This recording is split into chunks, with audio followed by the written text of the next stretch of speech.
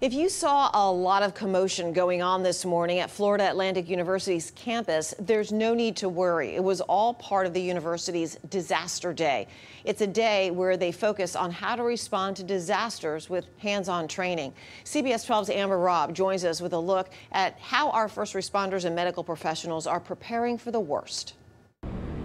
Here on Florida Atlantic University's campus, emergency medicine physician residents, local nurses, paramedics, and firefighters all worked to respond and treat victims of a mock car bombing and a mass shooting. Pete, there is an active shooter in the building. Calm.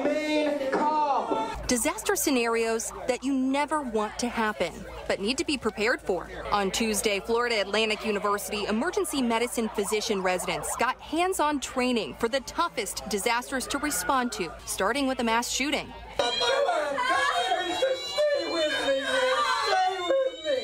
And then a car bombing. The school's Department of Emergency Medicine says they run drills like these because doctors need to be prepared for high stakes situations. Part of our job is muscle memory. If we've been exposed to an incident in the past, we can tap into that knowledge because we've been there, we've done that. The hallways full of screams.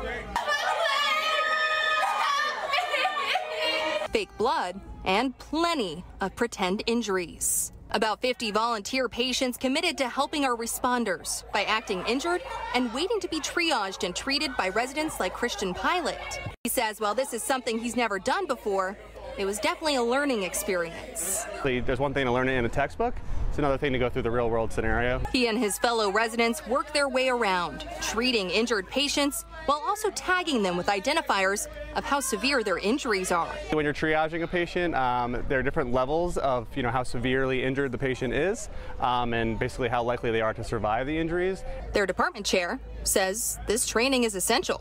We, we drill for these things hoping that we never have to use this knowledge, um, but we want to be able to take care of our community if, and unfortunately, sometimes when the situation arises. Many of the responders I spoke with today say they need to be able to save as many lives as possible in emergency situations.